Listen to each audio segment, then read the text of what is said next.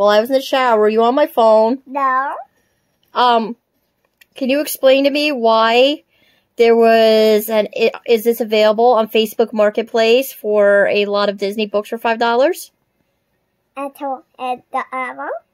Yes, and a thing of stuffed animals from another seller with a whole bunch of gibberish that you were trying to type to them. Were you trying to negotiate the price? Yeah. Abby, you know you're not supposed to be shopping on Facebook Marketplace, right? But it says that they are away.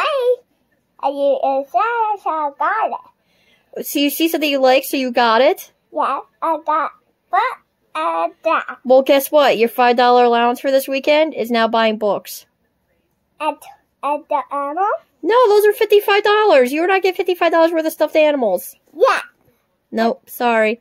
So you confessed to your crime that you you went and you were playing around the Facebook Marketplace. Don't pick your nose. Ew. Abigail, you're so busted. Do you realize how busted you are right now? No. You're so busted.